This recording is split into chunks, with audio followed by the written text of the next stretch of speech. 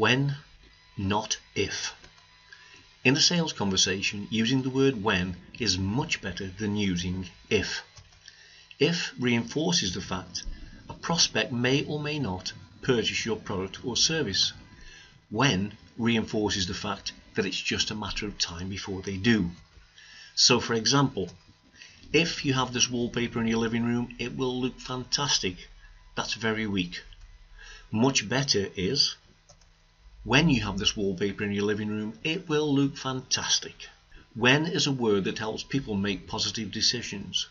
If is a word that makes people question whether they should make a decision or not.